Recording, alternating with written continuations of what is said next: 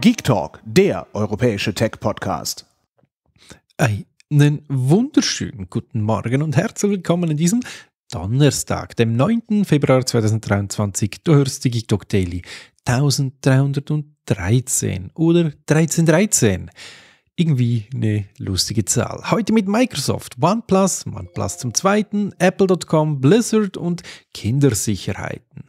Zuallererst ist dieses äh, eine Suchmaschine, die kommen wird, und zwar die Bing-Suchmaschine, die wird neu angereichert. Microsoft hat bekannt gegeben, was sie da an, äh, abändern oder zusätzlich bringen möchten, neben normalen Suchergebnissen, also eine Liste von Links mit den äh, ja, Klicks, wo ihr dann draufklicken könnt und dahin gehen könnt, wie zum Beispiel auf meine Blogs und andere Blogs und andere Newsseiten und Magazine und YouTube-Videos, bekommt ihr da auch ChatGPT zu Gesicht. Die soll dann eine kleine Zusammenfassung liefern über das Thema, das du da drin angefragt hast. Ich bin gespannt, wie das ankommen wird.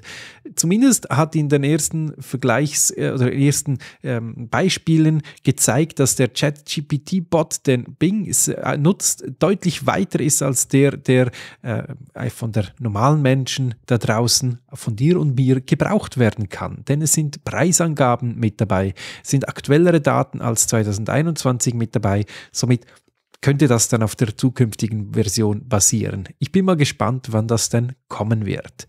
Etwas, was schon sehr schnell, nämlich Mitte dieses Monats kommen wird, ist das neue Smartphone von OnePlus 11. Wieso erwähne ich das jetzt? Bis jetzt habe ich noch nie viel über diese Firma gesprochen. Relativ einfach. Die sind endlich jetzt auch in der Schweiz tätig und somit kann man die dann auch besser empfehlen, weil es hier dann einen Ansprechpartner gibt und wenn man Probleme hat, auch die Möglichkeit einer Reparatur. Nämlich gehören beide zum Mutterhaus BBK Electronics und äh, OnePlus selber ist direkt an Oppo unterschrieben und somit können Sie eben da auch auf die ganzen ähm, Reparaturstätten etc. zurückgreifen, die Oppo schon aufgebaut hat hier in der Schweiz.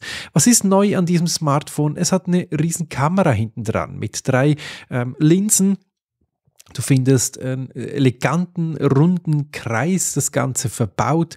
Die Innereien klingen spannend und interessant, vor allem der 100 Watt Ladeadapter, mit dem du in 10 Minuten nee, das ist beim äh, Kopfhörer, da komme ich gleich dazu, bei dem du innerhalb von kürzester Zeit, genau in einer halben Stunde, das komplette Smartphone geladen bekommst. Das ist irgendwie surreal, aber ich kenne es von den Oppo-Smartphones leider, oder was heißt hier leider, auch machbar und somit sehr, sehr spannend. Ich werde ab Ende der Woche oder Anfang der nächsten Woche mein eigenes Gerät bei mir haben und dann kann ich es ausgiebig für euch testen.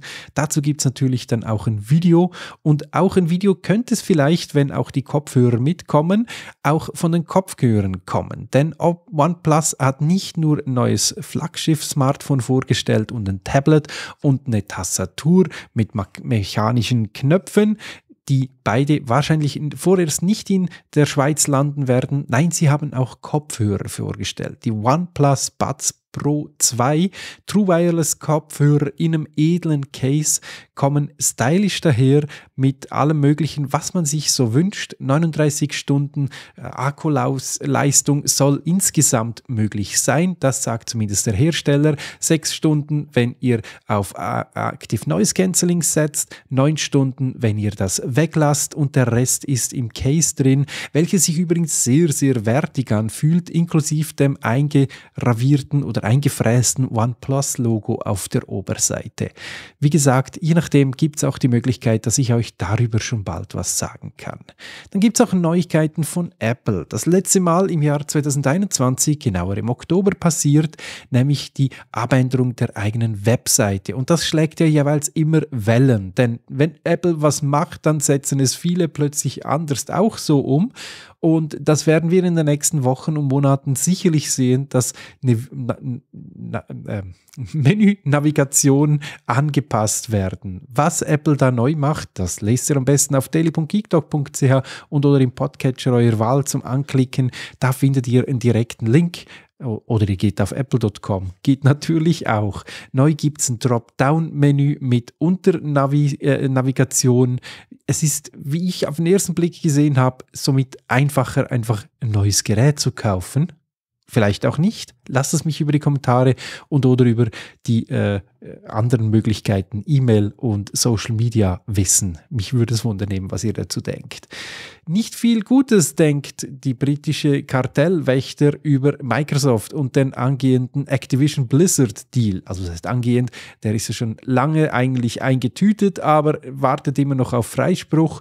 Die EU will was dagegen haben, die USA will was dagegen haben und jetzt eben die äh, in Großbritannien die erste Aussprache in die Richtung verlief negativ, das heißt, es könnte zum Scheitern verurteilt sein.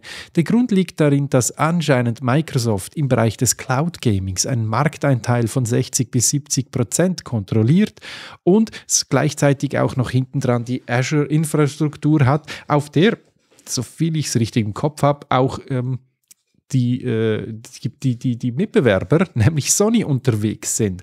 Und das ist natürlich dann eben für die Kartellwächter zu viel des Guten. Ich bin mal gespannt, wie Activision Blizzard das Ganze ansonsten alleine überleben wird und oder wer sie dann schlussendlich aufkaufen darf, wenn dann Microsoft nicht darf. Das finale Ergebnis kommt übrigens im April, ich glaube am 26. dann raus. Dann wollen sich die Briten nochmals zu Wort melden.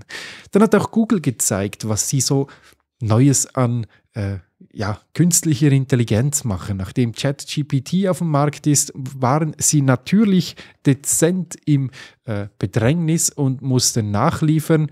Unter anderem haben sie zum Beispiel in Google Maps Neuigkeiten hinzugefügt, wie zum Beispiel mit künstlicher Intelligenz angereicherte Informationen, wenn ihr im Live-View-Bild drin seid. Dann bekommt ihr Dinge eingeblendet wie ja, Bewertungen von Nutzenden oder Gesamtbewertungen von Restaurants, von allem Möglichen und natürlich die Möglichkeit auch Bankomaten, Restaurant und was auch immer zu finden. Du kannst Ladestops beim Fahren hinzufügen für E-Autos, du kannst nach schnellen Ladestationen suchen und so weiter und so fort. Es sind einfach Kleinigkeiten, die Google damit angereichert hat.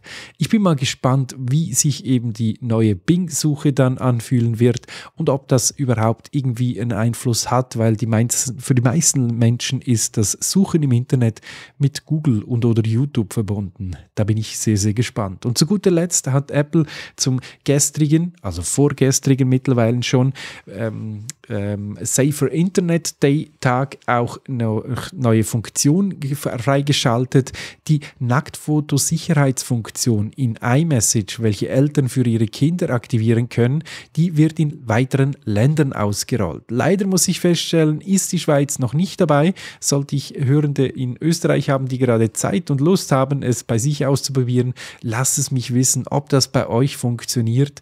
Nachdem vor zwei Jahren das Ganze in den USA, in Australien und wo hat das noch alles gestartet? Großbritannien und ein paar weiteren Ländern. Was war da noch dabei? Neuseeland, genau, Kanada kam im letzten Herbst dann Deutschland, Frankreich, Italien und Spanien dazu und mit der Pressemitteilung von Apple habe ich gehofft, dass die Schweiz auch dazu gehört, aber zumindest bis jetzt hat es bei mir sich nicht aufgeschaltet. Ich werde da natürlich fleißig dranbleiben. Das war es dann mit den Neuigkeiten zum heutigen Tag. Ich hoffe, ihr habt ein bisschen was mitnehmen können. Schaut am Wochenende mal ein bisschen in Richtung meines YouTube-Kanals und oder Anfang der nächsten Woche wahrscheinlich eher. Dann werdet ihr, wenn es passt, Neuigkeiten von eben diesem genannten Oppo Smartphone jetzt habe ich es, OnePlus Smartphone äh, zu Gesicht bekommen und vielleicht auch von den Kopfhörern. Am besten einfach mal vorbeischauen und wenn ihr noch nicht habt, abonnieren, dann werdet ihr, wenn ihr noch auf die Glocke klickt, äh, daran erinnert. Ihr kennt ja dieses YouTube-Game sicherlich. So, das war es dann mit der Eigenwerbung zum Schluss. Euch einen schönen und erfolgreichen Tag und wenn ihr mögt, gerne beim nächsten Mal wieder. Bis dann, euer Pokipsi. Tschüss. Hört mehr Geek Talk.